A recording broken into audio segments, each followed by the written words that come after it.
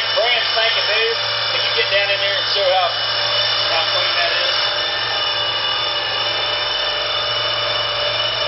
I mean, literally, I don't know this thing's been used. The T30 hydro seeder, I cannot find one anywhere used.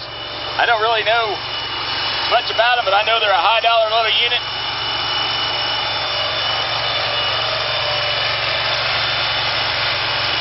Here, show the mixer. I think that's what that is.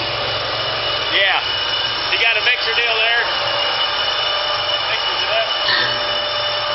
Go forwards or backwards with it. Pretty cool. Like I say, that, that tank looks either they used it, they cleaned it out excellent. Guy that had it went bankrupt.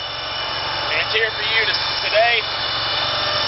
Probably going to need a battery. We got our jumper on it. That does not come with it.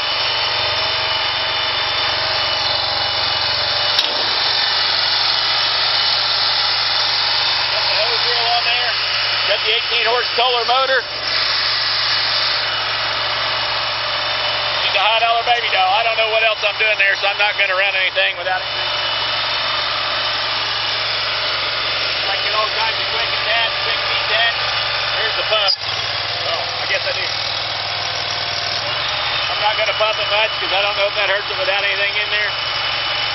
But it does kick on and work. Being hydro seeder, you make good living with it.